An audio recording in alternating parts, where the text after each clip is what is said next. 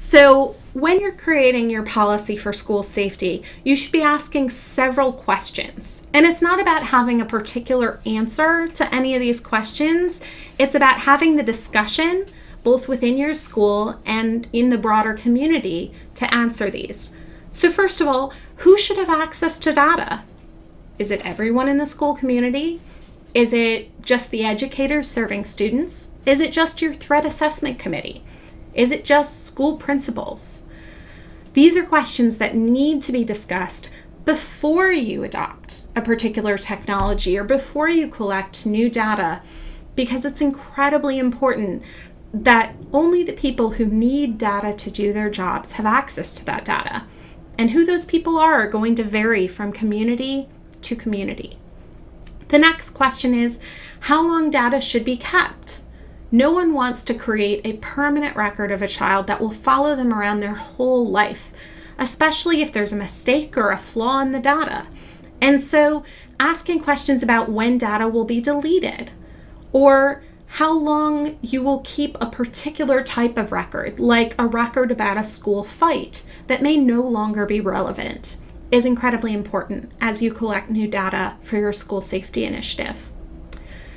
For students who are identified as a threat or at risk of self harm, it's important to discuss whether schools will allow them to access the information used to make that determination.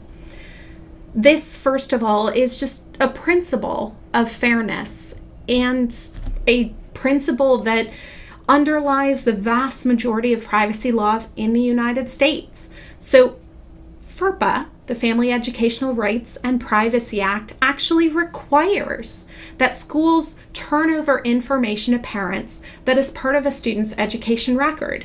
Generally speaking, if you identify a student as a threat or at risk of self harm and are taking school action against that student, that becomes part of their education record. So you may legally have to turn over that information, but there's also a question of just transparency. How do you build trust with your communities that the people who are flagged as a threat are actually a threat, or the people at risk of self harm are actually at risk of self harm? For example, I've heard several districts tell me about students who, in writing their college essays, wrote about struggles that they went through earlier in their life that triggered various self harm keywords. And fortunately, in the best districts, they called the people who knew the student the best. They talked to the teacher, to the principal, and they asked, Is this student likely to actually be at risk of self harm? And therefore, should we call law enforcement? Should we call the student themselves, their parent? And they were able to make a nuanced decision about what to do there. And as it turned out, they called the student. She's like, Yep, I'm writing my college essay. This is the context. And it's really important that schools consider that because if you suddenly have law enforcement knocking down the door, you don't know what that causes in that house and what the repercussions will be for your school, both on a legal side, but also in, again, violating that trust with your community. Another question to consider is whether students or parents can opt out of the system. So, this often comes up in the context of when you have parents who are volunteers for the school or when you adopt a facial recognition system. Inevitably, at least a few people are going to ask if they can opt out of the system. Make sure that you think about the possibility of allowing opt outs before, ideally, or now, uh, you adopt those systems because sometimes you don't need everybody in the system. Sometimes not having everybody would break the system because it would be an unknown face, for example, in a facial recognition system. Or you could have a technology that you're picking between that if you allow for opt outs, one would break the system and one wouldn't. So, if you can decide on these policies prior to adopting technologies, it can help you decide which tool or which non technological tool is best for you. It's very important that in all of this, you think about digital equity. Students who are lower socioeconomic status may not have access to the internet at home, may not have access to a device at home. And so the problem that you run into is that they are using their school provided device for everything they do online. Or they're using their school provided wireless network for everything they do online.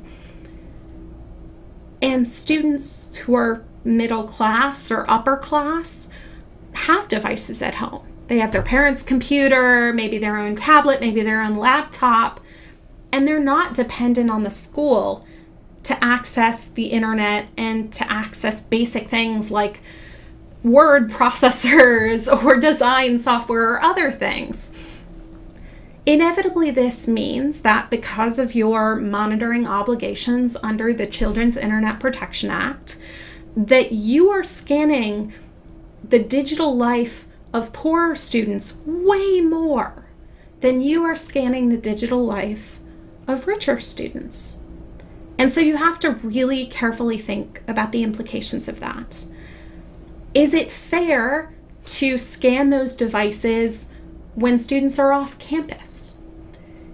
How detailed are you going to be in your monitoring? There's no specified standard of monitoring in the federal law, so it, it can be very, very broad or very, very specific. And that's going to vary in choice by community, by the type of threats or common issues that you have. But again, come back to fairness. The mistakes that low socioeconomic students are going to make are going to happen on the school device and the school network, while the mistakes that are made by middle and upper class students are not. And is it fair that the students over here are going to be punished for the same things that happen to students who have their own devices and their own internet when the only reason that you know about them is because they are dependent on the school for internet access. It's also really, really important to think about bias. So, we know from tons and tons of research that we have a disproportionate suspension problem in this country where students with disabilities, where minority students are continually punished at a higher rate, regardless of all other factors, than students who are white or students who are abled.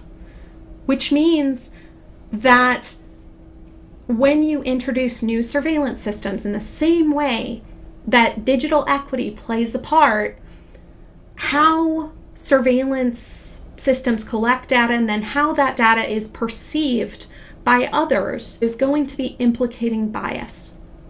So, for example, an administrator gave me a wonderful illustration. It feels like school security cameras would be the same for everyone. But the person who is looking at school surveillance footage may have implicit bias, bias that they have no recognition or idea that they hold that could impact what they're seeing and how they act on it.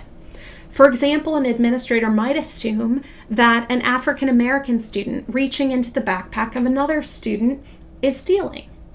Well, if they saw a white student reaching into a backpack, they assume that that student is just getting a candy bar or getting a book from their friend. And so it's really important, particularly because a lot of times school safety involves getting law enforcement involved, that people think carefully about how bias will play into their surveillance system and when and how they will be involving law enforcement in any of these decisions. Finally, when you're creating your policies, think about special cases. Think about the edge cases that every school is going to face.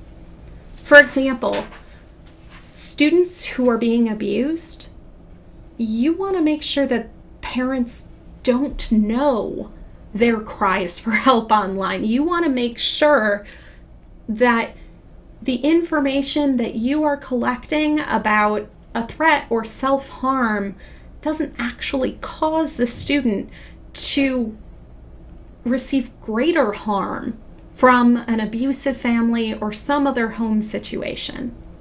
And so, making sure that you have policies to cover those types of edge cases is very, very important because every school is going to have a student facing that situation at some point.